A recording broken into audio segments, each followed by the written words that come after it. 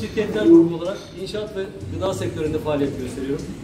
İnşaat sektöründe doğru müşteriye, doğru konut, doğru yerde, doğru yatırımdan e, 97 senesinden beri hizmet vermekteyiz. 97 1997 yılından beri de baba mesleği pide işini yapıyoruz. Ee, Karadeniz Ereğli'de. Çarşı merkezinde bu işten işgal ediyorduk falın pide olarak. Ee, işimizde Ereğli pidesinde çok iddialıyız. En iyilerin birinci sırasındayız. Bu baba mesleği. Babam 61 senesinde Karadeniz Ereğli'ye gelmiş. Oradan beri bu bayrağı işte 80'li yıllarda biz aldık.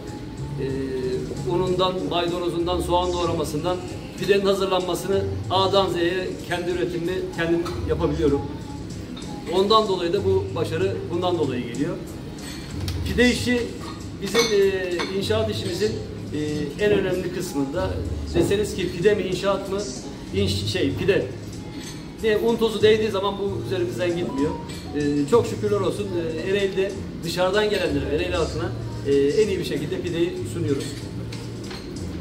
E, değerli basın mensupları gayretten çok niyet önemli. Niyetin Allah rızası olan gayreti boşa gitmez.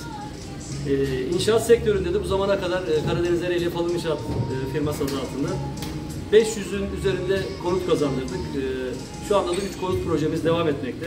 Biz e, doğru yerde doğru proje yapma tarafındayız. E, şu anda gıda ve inşaat tarafında 50'nin üzerinde personel istihdam ediyoruz.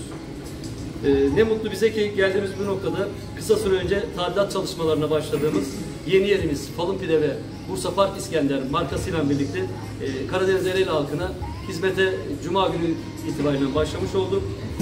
Oturma kapasitemiz 162 kişilik oturma kapasitemiz var iş yerimizde. 25 personelle şu anda devam ediyoruz ama ben inanıyorum ki bu personel sayımız e, çok yakın zamanda 30'ları 40'ları sadece bu işletmede olacak. E, buraya açılışımızı e, bizlerle paylaşmak için geldiğiniz için çok teşekkür ederim. Ayağınıza kolunuza sağlık.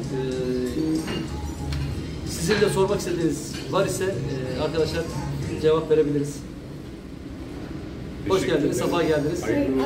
Tekrardan.